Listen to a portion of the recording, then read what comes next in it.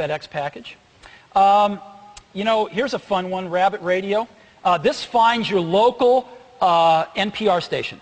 Isn't that great? And you can just listen to it. And you can even listen to it when dashboard's off. It's great. Um, but he gave in if Hamilton would recognize. Nothing as great as NPR. Um,